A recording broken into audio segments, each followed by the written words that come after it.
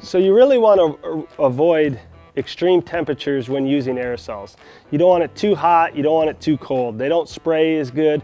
Any kind of aerosol is going to perform that way. So what we do is if it's really cold out and we're at a show, we might use a bucket heater and warm up some water, take the bucket heater out and then put our aerosols in. We don't like to leave the aerosols in with the bucket heater.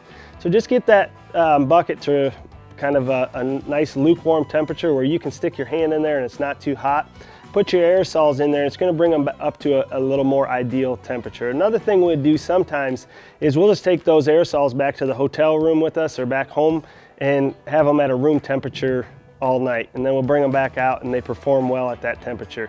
Again, they're not gonna spray as good if we don't have them, if it's too hot or too cold. If it's too hot, we're going to maybe put some ice in a cooler and bring those um, cans down in temperature a little bit until they spray a little bit more accurately. I think the one thing to do though to make sure it is, always spray those cans off to the side before you go to spray it on the calf and make sure that those cans are spraying properly.